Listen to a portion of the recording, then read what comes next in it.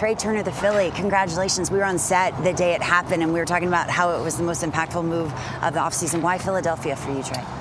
Just everything. I mean, I think uh, we had so many conversations between me and my wife and my parents and in-laws, and just weighing all options and um, you know just the situation, the city, uh, location, uh, the team they have, just a little bit of everything. I think was was the answer, and uh, we're super excited to be here. And uh, it's been a lot of fun already. Uh, it's only been a couple weeks, but it's it feels like the the right decision, and we're super happy about it. I think you kind of realize how many Philly fans there are. I've been seeing them we everywhere. Heard it in the World Series. I know, Holy I know, cow. I know. I mean, I knew it was a baseball town, but um, you know, when you come to spring training, you see the support and you see, uh, you know, people on the streets and um, walking around the town, and um, everyone's in their Phillies gear. And, you know, it kind of shows you how, how passionate they are and, and uh, how big the fan base is. So it's been it's been a lot of fun interacting with them.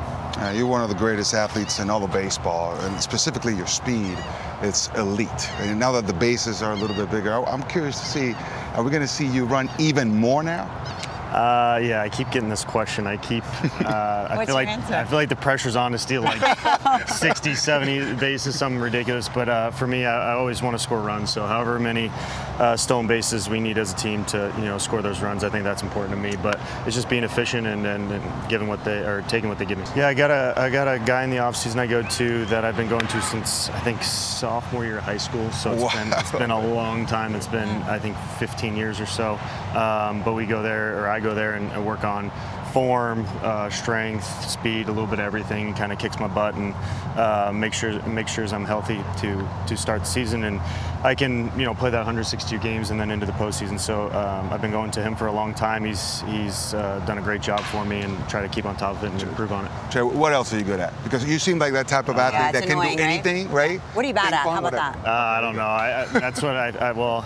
I think I, I try to compete at everything. You know, I don't know if I'm good at anything, but I try to compete at everything. And um, you know, I run into guys like Rendon and Mookie Betts and some guys that are just good at everything. And I'm like, damn, I got some work to do. So, uh, just trying to compete and have fun, and I enjoy that competition. So um, I'll compete at whatever board games, uh, anything.